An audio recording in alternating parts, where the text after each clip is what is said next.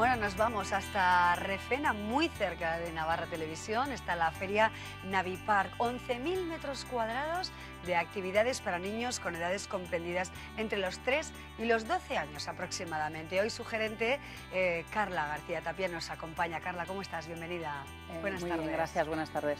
Y bueno, ¿cuál es el ambiente ahora mismo en, en Navipark, en Refena? Cuéntanos. Pues nosotros tenemos ambiente infantil, mm. ambiente de diversión y esperando que todos los niños mm, puedan venir al parque y disfrutar de un día apasionante en familia. 11.000 metros cuadrados, decía, ¿con qué tipo de, actividades? Estos días hemos ofrecido varios reportajes en nuestro programa, nos han llamado muchas personas interesadas por la feria. ¿Qué tipo de actividades? Ayer vimos niñas, por ejemplo, maquillándose. Bueno, ¿Eh? El maquillaje de fantasía es, una de las, es uno de los talleres estrella que tenemos en, en Navi Park. Eh, las maquilladoras son unas auténticas artistas, las niñas llegan, o los niños, ¿de qué quieres que te pinte? De Hulk, de Spiderman, de Spiderman bueno, de Spiderman malo, de princesa, de hada, de mariposa. De todo. En siete minutos las niñas salen fascinadas, se miran al espejo maravilladas. Eso les encanta. Luego tienen otra opción de maquillaje que es el Castillo de las Princesas, que es un gran castillo de seis metros de altura y 150 metros cuadrados en los que te recibe una princesa, vestida de princesa. Te disfrazas de princesa y ahí puedes maquillar tú a unas muñecas y peinarlas y hacer cosas de princesa. Bueno, así, así comenzamos esta conversación en clave infantil, con mil posibilidades eh, que pasan, pues como decimos, por ejemplo, por los maquillajes, por ese castillo, eh, bueno, pues por un ambiente imaginario de ficción curioso y atractivo casi para toda la familia, ¿no? Sí, es un plan en familia, es mm. un plan que hay que hacer, dedicarle el día a venir a Navipark, venir a las 11 de la mañana, cerramos a las 8, mm. cuando cerramos los niños no se quieren ir, lo están pasando fenomenal. Y es un plan de familia, tienen tantas posibilidades de hacer cosas porque tenemos, por un lado, en el pabellón 2 tenemos solo talleres. Tenemos un taller para hacer chapas e imanes en el que ellos los dibujan, los preparan y las monitoras les ayudan. Luego tenemos el taller de maquillaje fantasía y luego tenemos el taller en el que ellos hacen construcción con bloques. Que eso, es uno de los talleres que lo trajimos nuevo el año pasado y que ha causado tal sensación con los niños que lo hemos ampliado en metros cuadrados para que puedan seguir construyendo cada vez más grande. Mm. Luego tenemos... Eh, Esto que estamos viendo, por ejemplo, Carla, eh, esas son pantallas... juegos electrónicos que juegan como un poco como pudieran jugar en casa, pero en tamaño gigante. Pues esa pantalla mide dos metros de ancho, es una ah. pantalla gigante. Ahí tenemos montado un, un, juego de fútbol, los niños lo pasan bomba y cuanto más pequeños son, mejor juegan. Es una cosa increíble, disfrutan muchísimo. Bueno, ahí vemos también. este es el pabellón 3 donde están las actividades un poco más físicas. Estos son las gomas en las que saltan, estos son unas canastas en las que tienes que encestar, están libres, entonces pueden probar y probar todas las veces que ellas quieran. Luego eso es el grillo loco, que es una atracción más tipo feria en la que se montan, hay que tener ahí una edad un poco, ser un poco mayor. Y esto es un gran eh, tobogán en el que te tiras con un trineo, suben andando hasta 6 metros de altura y se lanzan. Esto es un circuito de coches eléctricos en el que los niños bueno, pues se montan y dan vueltas alrededor de un pequeño circuito y los coches son eléctricos.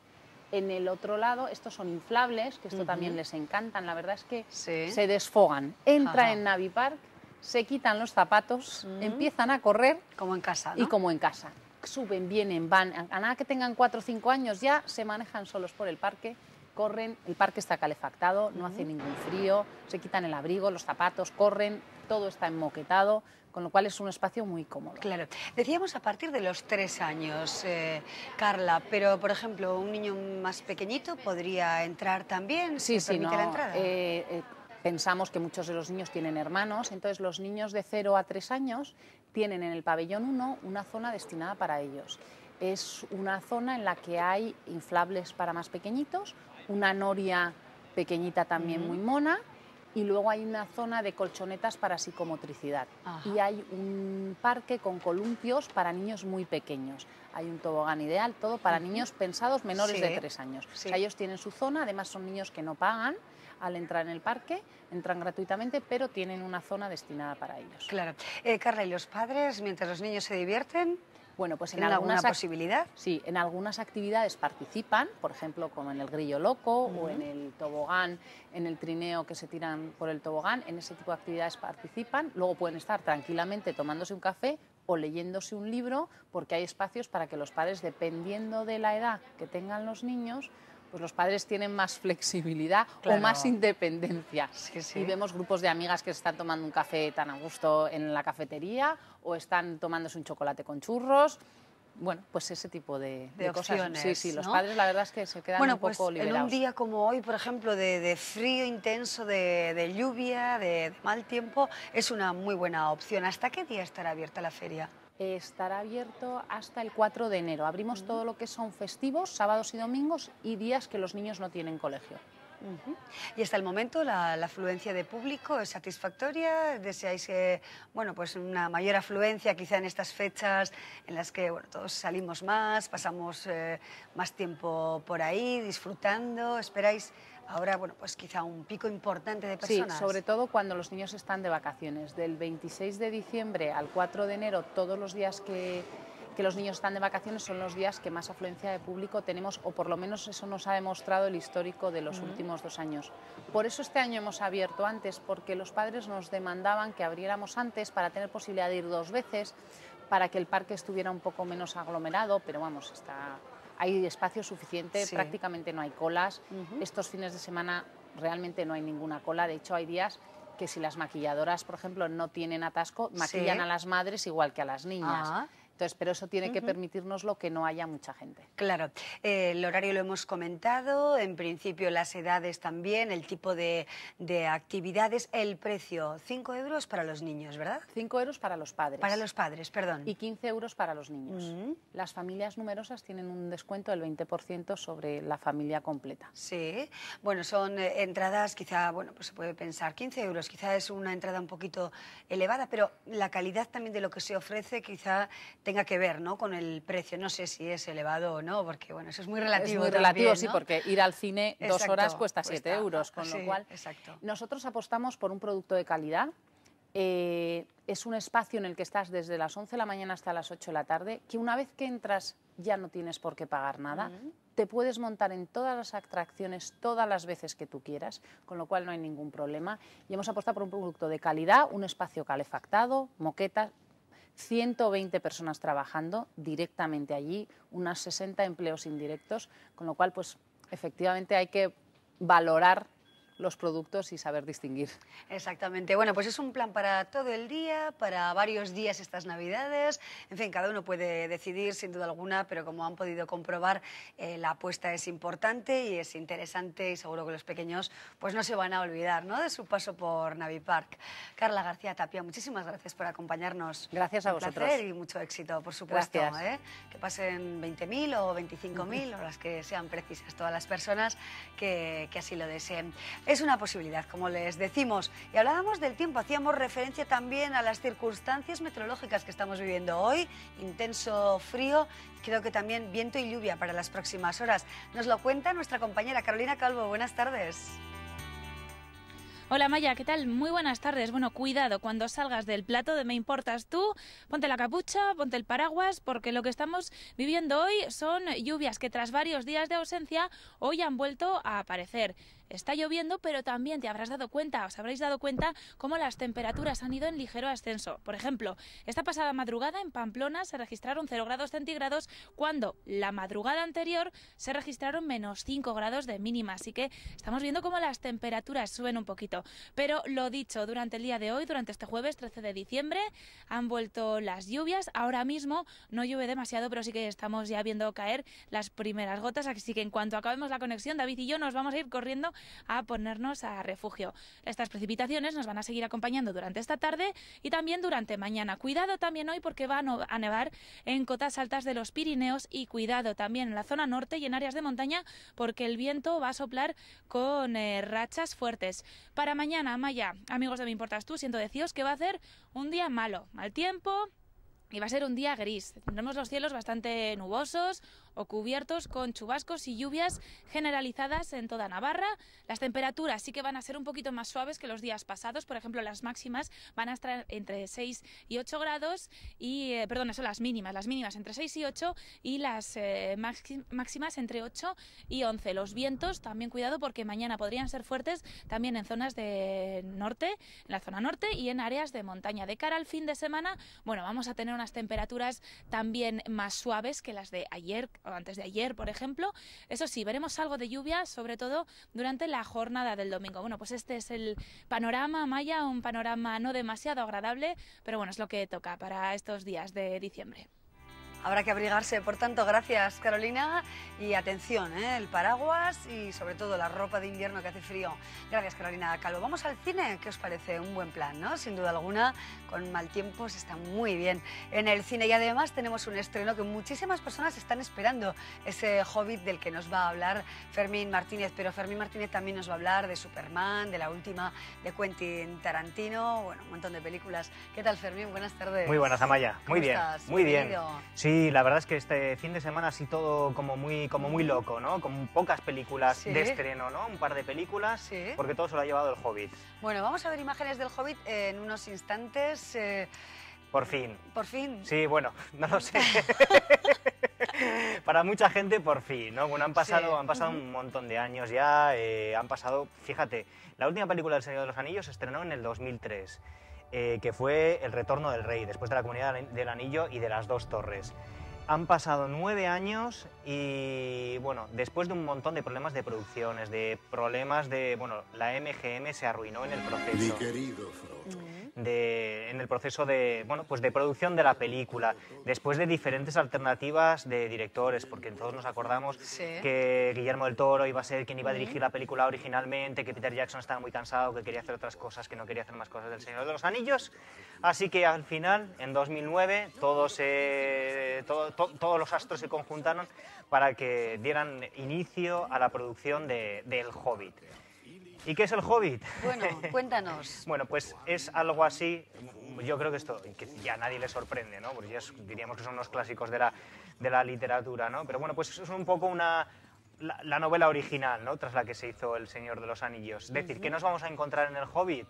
Pues ah, lo de, lo de siempre, lo del Señor de los Anillos. vamos a encontrar hobbits, orcos, eh, todo tipo de criaturas. Nos vamos a encontrar a, Gandalf, el, el, mago gris, que es Ian McKellen de nuevo, que repite, que esto es, esto es, esto es genial, porque que hayan mantenido también los, eh, los actores, pues le da cierta continuidad y bueno, nos vamos a reencontrar como con, con unos viejos conocidos, ¿no? Repite también Kate Blanchett haciendo un papel de Galadriel, eh, y en el papel protagónico pues está Martin Freeman, que es uno ahora, mismo uno de los actores de moda. Eh, lo hemos visto últimamente en un montón de películas. Este año está, bueno, está bastante eh, funcionando bastante con la, con la serie Sherlock, que hace del Dr. Watson, una especie de, de versión así como muy, muy actualizada de Sherlock Holmes. Y bueno, pues eso, vuelta a lo de siempre, a la Tierra Media, a más aventuras y más desventuras. Dice Peter Jackson cuando habla de la película que en realidad es, un, es, una película mucho más de aventuras que, que, lo que era El Señor de los Anillos, que tiene muchas más interrupciones, que hay más batallas. Entonces, bueno, yo me imagino que va a ser un festival del exceso. Sí, sí, imágenes espectaculares estábamos viendo. Sí, bueno, y Pero bueno, tres horas. crítica, ¿eh? Tres horas, ¿eh? tres horas de película. Y hay quien dice que es un poco cansina, ¿eh? Eso he leído por ahí. Sí. Fíjate que al Señor de los Anillos les, les, pasaba un poquito lo mismo, ¿no? Que eran unas películas que eran así como bastante entretenidas, pero recuerdo, por ejemplo, la última película, que era El Retorno del Rey, donde que, tenía como cinco finales, ¿no? Era una, aquello de que, bueno, ¿cuándo acaba esto? ¿no? Había un final detrás de otro tienen un poquito, pues en esta cosa del exceso y, bueno, Peter Jackson y todos los que han trabajado en la película son unos frikis de la novela. ¿Qué pasa cuando dejas el material en manos de los frikis? Que van a querer adaptar hasta la última página, van a querer meter las canciones, van a querer eh, sacarlo todo tal cual. Entonces, bueno, pues eh, fíjate, si del Señor de los Anillos, que era un libro, pongamos así, se hicieron tres películas, del Hobbit, que es un libro pues que es como una tercera parte, se han hecho otras tres. Con lo cual, pues la cosa vendrá vendrá excesiva de, metraje largo. Y bueno, una cosa importante para, Sí. sobre la película, y es que en Pamplona vamos a poder disfrutarla en, en for- en va- tres formatos, ¿vale? Formato digital, formato, no sé si habrá alguna copia en 35, su- probablemente también haya en algún cine que no, tenga, que no, esté, que no esté digitalizado. Sí. Hay una copia en 3D y hay una copia eh, en 3D HFR en un cine. ¿Esto qué es? ¿Qué supone? ¿Qué supone? Bueno, ya hablando técnicamente. Eh, la película se ha rodado, bueno, pues quienes tengan mucho interés por el tema de la fotografía y de la imagen, se ha rodado con unas cámaras que son la Red Epic, que son unas cámaras de súper alta definición que ruedan a 48 fotogramas por segundo. ¿Esto qué significa? Normalmente nosotros todo lo, lo que vemos en el cine, en, bueno, por lo menos en, en España, que es bueno, el formato alta, ¿no? 24 fotogramas por segundo. ¿Qué significa que mm, eh, han rodado a 48 fotogramas por segundo y que se proyecta a 48 fotogramas por segundo? Pues que en un segundo hay el doble de fotogramas, es decir, muchísima más calidad. Y en esto que en el 3D a veces veíamos las películas como apagadas, que a veces hacían como una cosa... A mí me gusta ¿eh? lo del Sí. 3D, yo reconozco que me divierte mucho, pero las películas se ven un poco así como apagadas. Entonces con esto han conseguido evitar bastante... Ya... La perfección, La llegar a la perfección. Entonces yo recomiendo que quien vaya a verla y no le mare el 3D, que hay mucha gente que no, lo- que no lo Sí. puede soportar, pues que vaya a verla, que vaya a verla en este super formato, ¿no? Mm. Por lo menos por la curiosidad de ver lo que, lo que se ha hecho. Perfecto, bueno, me imagino que será un éxito este fin de semana Sí, aseguradísimo, ¿no? bueno, sí, sí. Con Yo creo, que, yo creo que no hay otra. Además se han vendido las entradas con tiempo, bueno, no sé, Ajá. no sé si, no sé si quedarán entradas para ese cine. Supongo que sí. Sí. Pues se va a proyectar en muchos cines, pero, Mm. pero sí, sí, una de las películas más esperadas del año por mucha gente. Bueno, pues nada, para sus seguidores, ¿eh? entre los que yo no me encuentro. No, yo voy a ir a verla, voy a ir a verla porque me da, bueno, me da curiosidad, ¿no? Esta cosa de, no sé. Muy Vamos a ver qué hay, ¿eh? La semana que viene te lo cuento. Perfecto, bueno, hemos ofrecido a nuestros telespectadores un avance de lo que pueden ver con eh, las eh, claves más importantes de esta película tan, tan esperada por muchos. Bueno, seguimos adelante, vemos un poquito de Superman, por ejemplo. Venga, Venga, vamos a ver unas imágenes de Superman que además tiene fecha de estreno que ya. vuelve y no sé si estamos preparados o no. Bueno, vamos, tenemos tiempo de prepararnos. Sí. El 14 de junio es, es- Bueno, es- es el estreno todavía. en 2013, pero está como muy está, está estos días pues como se habla Sí. mucho de esta película porque pues ayer, antes de ayer, hace un par de días se estrenaba lo que es el, el nuevo tráiler, ¿no? de la Sí. película con una pinta un tanto, un tanto peculiar y extraña, ¿no? Y cuando empezaba a ver un poco el tráiler decía, bueno, ¿esto qué es? ¿Es, es- es Superman o es el árbol de la vida? Ya. Bueno, para empezar, comentarte, Sí. se reinicia de nuevo la historia, ¿no está acordado? Bueno, están las, las películas originales de Christopher Reeve, que Ujú. están muy entretenidas, Sí, divertidas, bueno, la 4 era bastante espantosa, pero las otras tenían su, su punto gracioso. En el 2006 eh, se hizo un, un- un- como un reinicio, Sí. se hizo otra película que se llama Superman Returns, Mm. donde nos volvían a contar otra vez la historia de Clark Kent en su pueblito con sus padres, etcétera, como el joven descubre sus poderes, etcétera. Y ahora pues otra vez vamos a ver cómo otra vez descubre los poderes, vamos a ver otra vez la granja, vamos a ver otra vez la infancia de Superman. Pero bueno, eh, puntos a favor de la película, que detrás de ella está Zack Snyder, que es un gran adaptador de, cómics. Es el que hizo, bueno, hizo, hizo una, la película con la que se dio a conocer es Zombies Party, una película súper divertida. Y luego se ha especializado un poco en las adaptaciones de cómics. Hizo 300, que es una película que, que- que funciona en tanto en cuanto el cómic funciona, Sí. en la misma medida, y Watchmen, que era un- yo, la verdad era un, un cómic, una novela gráfica imposible Sí. de adaptar a mi juicio y que bueno pues la llevó a buen puerto. La verdad es una adaptación bastante, bastante honrosa. ¿eh? Entonces, bueno, Bueno. pues eh, ahí estamos. ¿Qué se habla? Pues se habla de que es Sí. posible que haya un cameo de Batman. Ya sabes que este Ajá. año hemos visto... y sé que en- esto del, del mundo de los cómics en Estados Unidos están los, la Marvel y la DC, ¿no? que son los, los- los eternos enfrentados. Si los de Marvel este año se han juntado todos en, en esa película que era Los Vengadores, donde estaban pues todos Hulk, estaba Iron Man, Sí. estaban, bueno, pues estaban todos estos, parece ser que los fans de DC, donde se encuentran pues Superman, Batman, etcétera, quieren hacer su mm, propia versión que se llama la Liga de la Justicia. Ajá. Entonces, bueno, pues eh, también para fanáticos del cómic, para fans de Superman, decir que el 14 de junio tenemos Mm. cita. Perfecto, pues ahí tenemos esa S de, de Superman. Y ahora tenemos oh, dos posibilidades. No sé si quieres. Hablamos primero, por ejemplo, de Óxido y Hueso, que es uno de los estrenos de este fin de semana, y cerramos con la última de Quentin Tarantino. Perfecto. Venga, vamos. Bueno, Óxido y Hueso. Venga, pues es la nueva película de Jacques Audiard, uno de un director franco-belga, también uno de estos directores, nuevos, bueno, tampoco exactamente nuevos, estos directores franceses de los que sí se estrenan sus películas, ¿no? Tiene ese puntito comercial que hacen que sí que llega a nuestras pantallas. Eh, la última película que vimos de Jacques Audiard, creo que fue hace un par de años o tres, que era Un profeta, que era una historia brutal, un drama carcelario, bastante interesante. Es el director también de, de Tanto latir mi, eh, mi corazón se ha parado. Y ahora viene con su última película, que viene con un montón de, con un montón de, bueno, pues de premios, de nominaciones, etc. Estuvo en el Festival de Cannes, en la sección oficial, ganó un montón de premios en Valladolid, en el Festival de Cine de Valladolid, se llevó mejor director, se llevó mejor guion, se llevó mejor actor y en Londres, también en el Festival de Londres, ha conseguido el premio a la mejor película. ¿Qué te puedo decir de la película? Que como estamos viendo en las imágenes, con, Sí. con esa, con esa banda sonora, con esa música, es una película in- súper intensa. Mm. Es estas películas, es uno de estos directores especializados en estos dramas intensos que, que Sí. te agarran de la solapa hasta, hasta el final de la película y te tienen con el corazón así un poco en un puño. Y la vuelta al cine también de Marion Cotillard, a la que, bueno, últimamente la hemos visto, la, hemos- la hemos Sí. seguido viendo, la hemos visto en Batman, la hemos visto en Origen, pero la verdad es que después del Oscar en, en esta, en La vida en rosa, esa Mm. adaptación, o esa, esa biografía de Edith Piaf, Sí. con la que ganó el Oscar, no la habíamos visto en un papel protagónico y la, la tenemos de nuevo en las pantallas. Creo que es una mujer Mm. que, que- que puede hacer... Puede, la verdad, me, me- parece muy interesante. Yo creo que está muy bien en la película. Tenemos también esa revelación, que es este actor de nombre un tanto impronunciable, que es Matías, Matías Schoen, ¿vale? Eh, del que yo creo que se va, se va a seguir hablando, porque Sí. bueno, hacen, hacen los dos unos papeles bastante tremendos. Él es una especie de macarra, de hombre rudo, Sí. eh, que se mete en el boxeo para sacar eh, algo de dinero, y ella es una mujer que trabaja en una especie de, bueno, pues de aquapar, de marineland, con delfines, eh, y que en un, accidente, en un accidente laboral pierde las piernas. Entonces, bueno, él se enamora de ella y bueno, pues vamos a ver una cosa así bastante, bastante desgarradora. Ya hemos visto esa escena de él eh, llevándola en hombros en la playa, ¿no? al final del trailer. Pues eso, una película, bueno, interesante, ¿no? Había muchas posturas encontradas. En Cannes, cuando se pasó la película, hubo muchos aplausos y muchas pitadas, porque hay a quien le molesta que los dramas muy, muy, muy, muy, muy intensos, pues un poco al estilo de, de Alejandro González de Iñárritu, ¿no? Donde todo es excesivo, todo se Sí, pasa y todo sí. se lleva al límite.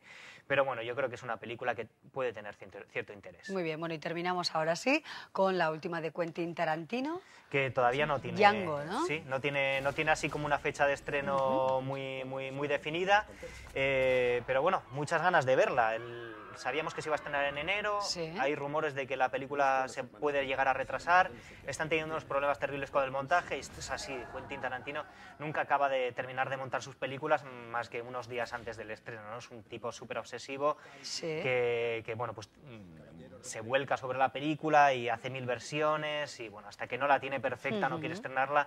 Entonces, bueno, ha habido un pequeño retraso de la fecha de estreno, pero bueno, es una de las películas yo creo que con más ganas esperamos muchos, yo por lo Sí. menos. ¿no? Es un director siempre muy interesante, eh, una especie de, bueno, es un, como ves, es un western, eh, inspirado levemente en, una película de Sergio Corbucci, también uno de estos eh, maestros del spaghetti western del año 66 que se llamaba Django. Y Django es ese, es ese hombre, Jamie Foxx, que es un, pues, un esclavo liberado de viaje por los Estados Unidos con Christoph Waltz, que ya estaba en Malditos Bastardos también de Tarantino, donde lo descubrimos y bueno, descubrimos todo un actorazo que en, en- en apariencia es un, es un dentista alemán, pero que en realidad es un cazarrecompensas, ¿no? Y se juntan ellos dos para liberar a la, a la mujer de, de- de Django, que la tiene esclava. Es el Leonardo DiCaprio también, que va a hacer un papel, bueno, está, está espectacular. Está, es- también, además, bueno, Transformadísimo, sí, ¿no? los actores con Tarantino todos pues se desatan Sí. y, no sé, y de- se dejan llevar y bueno, ya vemos que bueno, pues, cámaras lentas, un montaje tremendo. Ya los, los trailers de los trailers de las pelis de Tarantino son como una pequeña obra en sí mismo, ¿no? Y tienen, tienen una potencia y un montaje que es, que es, que es tremendo. Entonces, bueno, ¿yo qué te voy a decir? A mí Tarantino me encanta y es su octava película, eh, depende cómo la veamos, si Kill Sí. Bill la dividimos en dos, sería su octava película, si la divi- tenemos en una, sería su séptima. Y bueno, el, de- el otro día decían que, que alguien decía que con la décima película se iba a retirar y tal. Bueno, esperemos que no. ¿eh? Bueno. Y en cualquier caso, pues nos queda Django desencadenado ¿eh? y un par más, por lo menos. Muy bien, Y bueno. Espero que sean más. ¿eh? Ojalá, ¿verdad? Ojalá. Bueno, no se le agotarán las ideas tan pronto, ¿no? No, eso seguro que no. A ya sabes Quentin es Tarantino. Carne de videoclub, trabajó en su juventud en un videoclub, Sí. vio tantas películas que ahora, bueno, la verdad es que ver las películas de Tarantino es como coger un rompecabezas y ir diciendo, a ver, de, de- esto de qué película la ha sacado, esto de qué otra película la ha sacado, es un divertimento. Muy bien, bueno, pues nos quedamos con esas eh, películas para este fin de semana, aunque todavía se mantienen otras también muy interesantes en cartelera, Fermín, ¿eh? Sí, sí, además tenemos ahora bastante cine español, ¿no? Eso es. Que además me- sé que tú has visto algunas películas Sí, y que están sí, en buena sí. forma. ¿eh? Exacto. Y que, y que, bueno, hay mucha cosa por ver. Sin duda, la cartelera está interesante. Gracias, Fermín, nos vamos. Muy bien. ¿De acuerdo? Y nos vamos precisamente, eh, gracias por supuesto hasta la semana que viene, nos vamos a ver qué está pasando en el resto de, de Navarra, informativamente hablando. Nos lo cuenta ahora mismo nuestro compañero Ricardo Beitia. Buenas tardes. ¿Qué tal, Amaya? Muy buenas tardes. Este mediodía veíamos al abogado de Santiago Cervera hacer entrega en los juzgados de la renuncia del ya exdiputado. Y lo hacía para mm, decir que ya no tiene esa condición de aforado. Cervera agiliza así el proceso judicial que está abierto y que se muestra dispuesto además a llevarlo hasta sus últimas consecuencias para demostrar su inocencia. Por cierto, él cree efectivamente que se le ha tendido una trampa y no porque él lo diga, sino también la vicepresidenta del Partido Popular de Navarra, Ana Beltrán, que ha salido al paso de las críticas después de lo que se considerara a través de los medios de comunicación una tibia eh, respuesta de su pre- del presidente de los populares, Enrique Martín, populares navarros, tras conocerse el caso. Y hoy se decide en el Parlamento, Amaya, cuánto vamos a pagar en impuestos el próximo año. La reforma fiscal busca incrementar las rentas medias altas, pero desde luego que mm, personas como la que vas a conocer, Bernarda, pues eh, poco tienen para poder pagar, porque esta viuda de 48 años se compró en el año 2006 un piso, un cuarto sin ascensor, en el barrio de la Milagrosa de Pamplona, por el que pagó 236.000 euros. Claro, llegó un día en que le fue imposible pagar la, la hipoteca. pidiendo a uno, pidiendo a otro, pidiendo y así una cadena de deudas con tal de no quedar mal con la bendita hipoteca. Hasta que un día dije, no, ya se acabó, se acabó y hasta aquí llegué, porque ya estaba endeudada creo que mi vida entera, ya con tanta deuda a mis familias, a mis compañeros de trabajo, a mis amigas. Y hace un par de días que consiguió paralizar su desahucio. Es la realidad a la que se enfrentan cada vez más navarros, de los que hasta hace bien poco estaban en, en esa escala de la clase media acomodada. Y fíjate, Amaya, nos preguntamos hoy si hay o no agujero en el Departamento de Salud. Es así como se ha formulado esa pregunta. Recalcando, agujero en salud. Bueno, pues lo formulaba el Grupo Parlamentario Nafarroa Bay, ha respondido la consejera Marta Vera, dice que la desviación prevista de su departamento es la normal en este año y supone, dice, un 1,7% del presupuesto, unos 16 millones. Y en siete días se va a cerrar el plazo para presentar aportaciones al PESIS de Donapea. El Ayuntamiento de Pamplona, con los votos en contra de toda la oposición, aprobó ayer un texto en el que exige que se respete la voluntad y la autonomía municipal.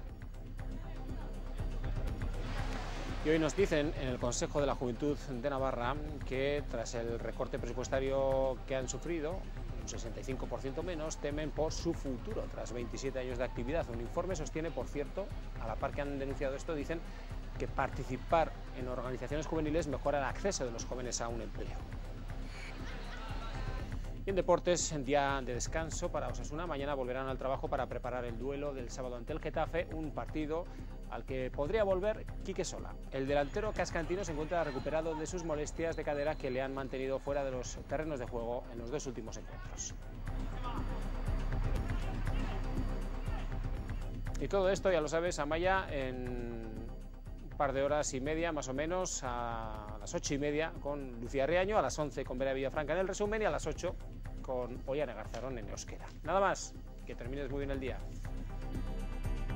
Muy bien, Ricardo, muchísimas eh, gracias. Es la información, lo que está ocurriendo ahora mismo en Navarra. Seguimos en Me Importas Tú. Vamos a hacer una breve pausa en unos instantes luego volveremos con nuestro apartado ¿Qué te cuentas? Hoy nos cuentan su historia varios emprendedores que forman parte del Club de Emprendedores de la Universidad eh, de Navarra. Han montado sus negocios desde un despacho de abogados en Internet hasta una tienda de libros de segunda mano, libros académicos, hasta una web Navarra Deportiva. Ya verán, a la vuelta de publicidad les escuchamos y vemos.